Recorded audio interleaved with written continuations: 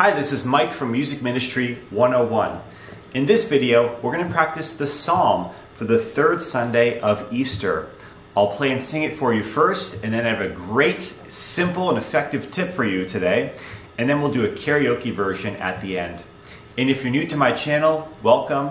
Please subscribe to the channel as well for more videos like this. Download the cheat sheet pack for church singers to help you improve vocal technique sight reading, and other crucial singing skills. I'll post a link in the description below or visit musicministry101.com forward slash cheat sheet for a pack of free cheat sheets to help you sing your best.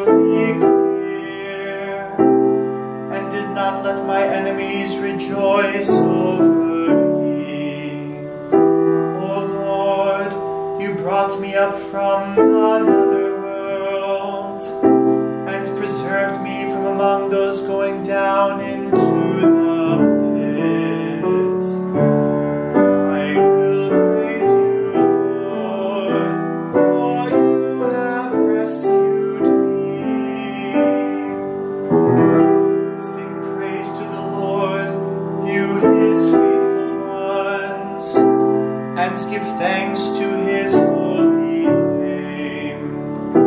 For his anger lasts but a moment, a lifetime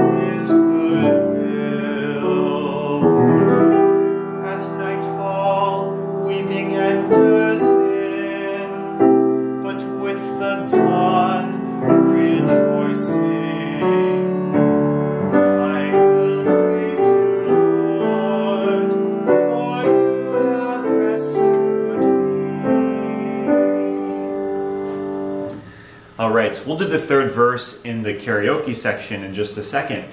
So, what I wanted to mention is a tip about the commas and how you can use commas in different ways. There's a few ways that you can use them. First of all, you can take a breath. Second of all, you could not take a breath. Third of all, or third, you could have a bit of time or use it to make to make an emphasis point of the next thing that you're going to sing. So let me give you some examples. In the first verse, I'm skipping the first comma. I will extol you, O Lord, because I'm taking the next comma. Oftentimes, when there are two commas, I'll skip the first one, I'll go right through it, and I'll take the second one. So again, that is, I will extol you, O Lord, for you drew me clear. Okay, so two examples of commas right there. Now, let me give you another example. Um, okay, on the second verse, second line, if you can find a lifetime, his goodwill. What I did when I sang it was a lifetime, his goodwill. So I held out on lifetime. I used the comma to kind of make a bit of a, a hold there, and then I continued after that. So I didn't take a break. I didn't blow right through it. I did something in between. A lifetime, his goodwill. So those are three approaches that you could use to the commas in any psalm, really, but those are my examples for this particular psalm. So I hope that was helpful. You know, if we're really deliberate about how we use these commas, then we can emphasize certain parts of the message. So that's why when I did a lifetime, his goodwill. A lifetime to me is means like held out, right? A whole life, a lifetime. So I'm trying to make more meaning out of it by taking that comma and making that as kind of an extension of a lifetime, his goodwill. So you can see you can play with the meaning in the delivery by using the commas. If you'd like to learn more about how you can use your voice to really reach the congregation check out my free three day workshop for church singers. It's completely free, and you'll get a different video each day emphasizing a certain aspect of vocal technique and performance. Day one is all about using your breath to the best of your ability, improving your breath support. Day two is about English diction and about pronunciation and enunciation, all that good stuff. And day three is about proclaiming the message behind the text in a really, really effective way. So check out that workshop. It's at musicministry101.com slash workshop. The people that take the workshop find improvements in their voice. So go right now to sign up for that free three-day workshop. Also, it's still the Easter season, so I'm offering 60% off of my sight reading course. This course called How to Sight Read Music teaches you everything you need to know about looking at a piece of music and being able to sing it from start to finish just with a starting pitch. So for this one, if you played that note, ba ba ba ba ba, you could figure out the whole piece using the skill of sight reading. So for that link, go to the comment section or the description below, and it's called Master Sight Reading. So you'll see a link for it in the description below. Now 60% off, by the way, so it's a good time to get it this Easter season. All right, enough of the advertisements. Let's go to a karaoke version of this song. Here we go. We'll do the refrain one time at the beginning.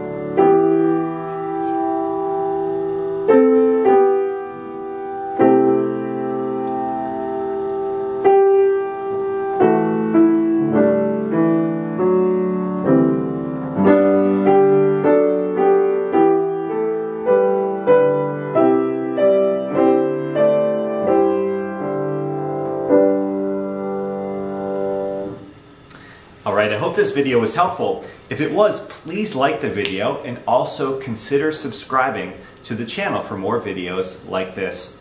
Hope you enjoyed it and have a happy Easter.